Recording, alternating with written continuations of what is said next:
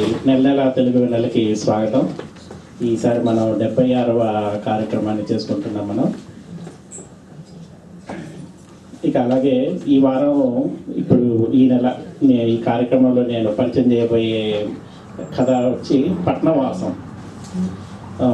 పంతొమ్మిది వందల యాభై రెండులో ఒక దేశిక దేశీ కవితా మండలి కథా సం ఆ పత్రికలో ప్రతి వారం చిన్న చిన్న కథలుగా వచ్చినటువంటి కథ అనమాట ఇది పట్నవాసం. రచయిత శ్రీ కొడవటిగంటి కుటుంబరావు గారు. కొడవటిగంటి కుటుంబరావు గారు చాలా అద్భుతమైనటువంటి రచయిత. మీకు అందరికీ తెలుగు సాహిత్యంలో పరిచయం ఉన్న వాళ్ళందరికీ తెలిసే ఉంటుంది. గత శతాబ్దపు అద్భుతమైనటువంటి రచయితలలో కొడవటి గంటి కుటుంబరావు గారు కూడా ఒకరన్నమాట. ఆయన గురించి చెప్పాల్సి వస్తే సమాజాన్ని బాగా కాల్చి వడపోసినటువంటి రచయిత అనమాట మన చుట్టుపక్కల ఉన్నటువంటి సంఘటనలు వీటి గురించి అన్నిటికీ చాలా చక్కగా చాలా కథలు రాశారు. వాటన్నిటిని కథా సంపుటిగా కథలు పుస్తకాలు ఈ మధ్య విడుదల చేయడం కూడా జరిగిందనమాట వాటిల్లోంచి తీసుకున్నటువంటి కథ పట్నవాసం. ఈ కథ ఏమిటంటే పంతొమ్మిది వందల యాభై రెండులో వచ్చినటువంటి కథ అనమాట పల్లెటూర్లు పట్టణాలు మనం పల్లెటూరు నుంచి ఒక వ్యక్తి పట్నం వెళ్ళి అక్కడ పల్లెటూరికి పట్టణవాసానికి జరిపినటువంటి ఈ పరిస్థితులు వాటి గురించి చేసినటువంటి సమీక్ష అనమాట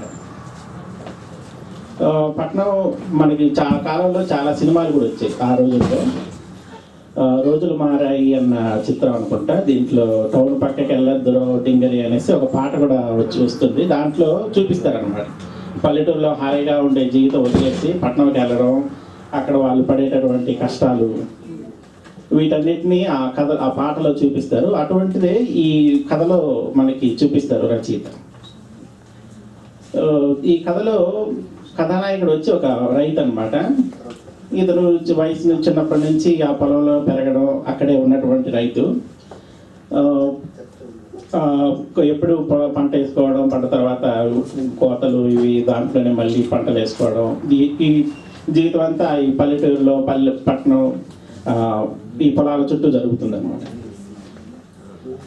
ఈ పల్లెటూరి జీవితం నచ్చక ఈ రైతు చెల్లెలు వచ్చి పట్టణం వెళ్ళిపోతుంది అనమాట చాలా రోజుల ముందే వెళ్ళిపోతుంది. ఇవి ఇంకా రాదు. ఈ పల్లెటూరు నచ్చక పట్నం అప్పట్లో పట్నం వ్యామోహం ఇవన్నీ కూడా మామూలే. ఆ, వ్యామోహంలో వెళ్ళిపోతుంది. చెల్లెలు తిరిగి వస్తుందేమో అని చెప్పి చాలా రోజులు చూస్తాడు రాదు. ఇక ఆమె వెతుకుని తీసుకురావడానికి కూడా మన రైతుకి సమయం ఉండదు. తర్వాత వీలు చేసుకుని ఒకరోజు సరే చూద్దాం మన చెల్లెలు ఎలా ఉందో ఎలా బతుకుతుందో కనుక్కొద్దాం అనేసి బయలుదేరుతారు అనమాట ఇతను పట్నం వెళ్ళి ఆ చెల్లెలు ఆమెని వెతకాలి. అంటే అప్పట్లో ఇతనికి అంటే ఆ అర్ధ చిరునామాలు ఇటువంటివి కూడా తెలియవు అనమాట ఆ పట్నంలో వెతికి చివరికి కనుక్కుంటాడు. కనుక్కొని ఆ చెల్లెలు అక్కడ పడేటటువంటి కష్టాలు ఇవన్నీ చూసి బాగా ఇబ్బంది పడతారు వాడు బాధపడతారు. బాధపడి చివరికి ఆ, పల్లెటూరుకి వచ్చేస్తారు అనమాట ఇది కథ. ఈ కథ మామూలు కథే. చాలా దీంట్లో పెద్ద విశేషం ఉండదు. కానీ దీంట్లో ఒక చిన్న మెలిక ఉందనమాట మన రచయిత గారు అక్కడే నాకు ఈ కథ మీద ఆసక్తి కలిగింది. ఏమిటంటే ఇక్కడ రైతు మా- మామూలు మనిషి కాదనమాట ఒక ఎలుక. పొలాల్లో ఈ కలుగుల్లో పెరిగిన కలుగుల్లో జీవితం అంతా సాగినటువంటి ఆ ఎలుక ఆ ఎలుక జీవితం అనమాట ఆ ఎలుక చెల్లెలు పట్నంకి వెళ్ళిపోతుంది. ఈ ఎలుక పట్నంకి వెళ్ళి ఆ పల్లె పట్నంలో ఉన్నటువంటి ఎలుక ఎలా బతుకుతున్నాయి చూసేసి వెనక్కి రావడం అదనమాట ఆ సంగతి తెలిసాక మనకి చాలా ఆసక్తిగా ఉంటుంది అనమాట ఈ తమాషా ఏంటంటే మనం నేను కొంచెం కథ చెప్తాను మీకు. ఇప్పుడు ఇంతవరకు మీరు ఒక మామూలు రైతు అనుకొని కథ విన్నారు. ఇప్పుడు ఒక ఎలుక అనుకొని వినండి.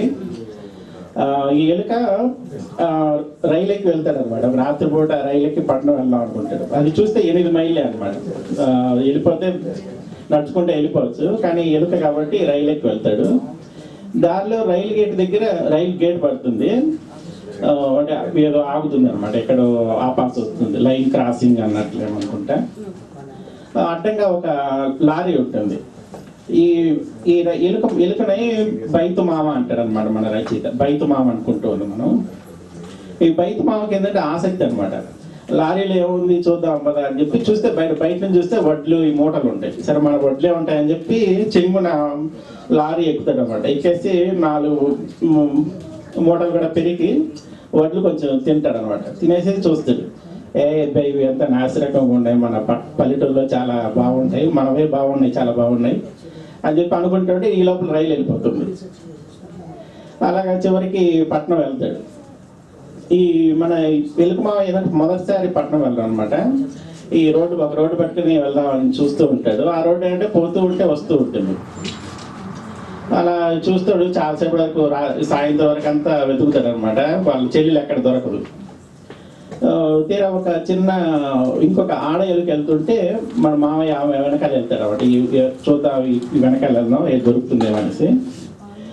ఈ మామూలుగా పల్లెటూరులో ఏమిటి మనం ఈ ఎలుకలన్నీ పొలాల్లో కలుగుల్లో ఉండేటటువంటి ఎలుకలు అనమాట ఇక్కడ ఏమిటంటే ఏదో ఒక చిన్న ఇరుగ్గా ఉండేటువంటి గదుల్లో ఇళ్ళల్లో కాలు మురికి కాలువల్లో అక్కడ ఉంటాయి ఉంటాయి అనమాట ఎలుక కలుగులోంచి లోపలికి జారుకుంటూ వెళ్తుంది. అక్కడ అన్ని అందరూ పడేసిన తిని పడేసినటువంటి ఆ, తినుబండారాలు అంటే మిగిలిపోయినటువంటి వ్యర్థ పదార్థాలు ఇవి తింటూ ఉంటాయి అన్నమాట. ఇవి చూసి మామ చాలా బాధపడతాయి చిచ్చి జీవితాలు ఎప్పుడు అనుకోలేదు ఒక ఎలుక ఇటువంటి పదార్థాలు తింటుందనేసి ఆ, పల్లెటూరులో ఎంత హాయిగా ఉండేది అన్నట్లు అనుకుని బాధపడతారు అనమాట ఆ ఎలుక వాళ్ళ జీవితం అంతా చూసి చాలా బాధెక్కి మళ్ళీ రోడ్డు మీద పడతాడు. ఈ లోపల మన నాటకీయంగా వీళ్ళ మామయ్య చెల్లెలు కూడా కనిపిస్తుంది అనమాట సరే ఇద్దరు మా రాన్నయ్య ఇంటికి వెళ్దామని చెప్పి తీసుకెళ్తుంది అనమాట ఇంతకుముందు వేరే ఇల్లు చూసి ఇల్లు చూసి మామయ్య చాలా ఆనందపడతాడు. పర్వాలేదు చెల్లెలు మంచి ఇంట్లోనే ఉంటుంది అనేసి. ఎలా పట్టావే ఇల్లు? చాలా బాగుంది. మిగతా వాళ్ళ ఇల్లు చూశాను చాలా నీచంగా ఉన్నాయి నీకు మంచిదే దొరికిందంటే ఏముంది అన్నయ్య ఈ రోజుల్లో మంచి ఇల్లు దొరకాలంటే చాలా కష్టం అయినా ఇల్లు దొరకాలంటే చాలా కష్టపడ్డాం. ఇల్లు కట్టకముందే బాగా అటక మీద నుంచి కూర్చుని ఉండేవాడు ఇక్కడే. ఒకసారి మనం బయటకు వెళ్ళామంటే వేరే వాళ్ళు వచ్చేసి దీన్ని లాగేసుకుంటారు ఆక్రమించుకుంటారు. రా ఆరు నెలల వరకు మనకి రాబడి లేకపోయినా ఇక్కడే ఉండాల్సి వచ్చింది అన్నయ్య. తీరా యజమాని కూడా ఇల్లు పూర్తయ్యాక కూడా మంచి ఆదాయం దొరికే ఇచ్చేటటువంటి కిరాయిదారు కిరాయి దొరికేంత వరకు ఎవరికి ఇవ్వలేదు. ఈ లోపల తినడానికి కూడా చాలా కష్టపడ్డాం. కానీ మంచి సౌకర్యంగా ఉన్నటువంటి ఇల్లు దొరికిందనేసి ఆనందంగా ఉంది అని చెప్పి అది కొంచెం మనకి సరదాగా ఉంటుంది అనమాట ఇంకా అలాగే అక్కడ పిల్లలు ఈ ఎలుకలు వీళ్ళ సంతానం కూడా చాలా ఎలుకలు సంతానోత్పత్తి చాలా వేగంగా ఉంటుంది. చెల్లెలకి ఈ లోపలే పిల్లలు మనవలు మనవరాళ్ళు చాలామంది ఉంటారు. ఒక చాలా సంతానం ఉంటుంది. వాళ్ళందరూ కూడా మంచి భోజనం తినకుండా ఈ ఇంట్లోనే ఇంటి ఓనర్ వనస్పతితో చేసినటువంటి కూరగాయలు భోజనాలు స్వీట్లు అవి తింటుంటే చాలా బాధపడతాడు మన దగ్గర హాయిగా మంచి పాలతో నెయ్యి చేసుకుని తినేవాళ్ళం.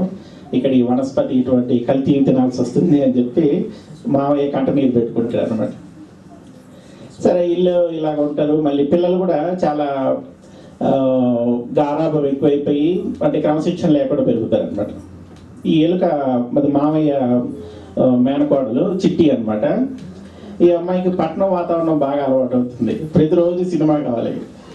వెళ్ళి సినిమా చూస్తుంది. ఇక అలాగే పక్క వీధిలో ఇంకొక ఎలుకని చూసి ఈ లిప్స్టిక్ పూసుకోవడం ఇలాగ మేకప్ చేసుకోవడం ఇవి కూడా బాగా అలవాటు అవుతుంది అనమాట సో ఇవన్నీ చూసి మామయ్య ఇదేమిటి ఇలా ఉన్నారు వీళ్ళు? ఇంకేంటంటే ఈ పిల్లలకు కూడా వీళ్ళకి ఆహారం తల్లి తీసుకురావాలన్నమాట. వీళ్ళకి వీళ్ళు వెళ్ళి పని చేసుకుని ఆహారం తినేటటువంటి ఓపిక అవి ఉండదన్నమాట. అది కూడా చూసి మామయ్య బాధపడతాడు. మన ఇంట్లో అయితే ఎవరి పని వాళ్ళు చేసుకోవాలి. ఇక్కడ ఇంకొకరి మీద ఆధారపడడం పిల్లలు ఇలాగా మనకి భారం కాకూడదు అనేసి అనుకుంటాడు అనమాట సరే ఇలా ఇంట్లో పరిస్థితులు అన్నీ చూశాడు మావయ్య. బావగారు కూడా రెండు బావగారు సాయంత్రం అలాగా షికార్కి వెళ్దాం అని చెప్పి పార్కుకి వెళ్తారు అనమాట మీరు మావయ్య కూడా చూస్తాడు ఆనందం సరే పార్క్ వెళ్దాం బయట ప్రజలు ఎలా ఉన్నారు చూద్దాం అనేసి వెళ్తాడు అనమాట ఇక్కడ ఇక్కడ కొంచెం తమాషగా ఉంటుంది. ఇక్కడ కొంచెం ఇంకా రచయిత అప్పటి పరిస్థితులు చెప్పాలని చెప్పి కొంచెం ఎలుకల ద్వారా చెప్పిస్తాడు అనమాట అది కొంచెం నాటకీయంగా ఉంటుంది. కాకపోతే మనకి డెబ్బై ఐదు సంవత్సరాలుగా తెలుగు సినిమా చూసిన వాళ్ళకి ఈ లాజిక్ పెద్ద మనం ఆలోచించాం కాబట్టి పర్వాలేదు మనకి. ఈ పార్కులు ఏంటంటే పార్కులో అందరూ కూర్చొని ఉంటారు అనమాట కొత్తగా మామ వచ్చాడు ఎవరు గౌరవం చూపించరు. సో అతను సరే వీళ్ళు ఏం మాట్లాడుకుంటారో విందాం అనేసి అనుకుంటారు అనమాట ఇక్కడ ఎలుకలు ఏమిటంటే మాట్లా అప్పటి సినిమాలు మాట్లాడుకుంటాయి అనమాట అప్పట్లో ఏంటంటే ఈ పౌరాణికాలు అయిపోయి జానపద సినిమాలు మొదలైనటువంటి కాలం అన్నమాట. ఒక ఎలుగు అంటది.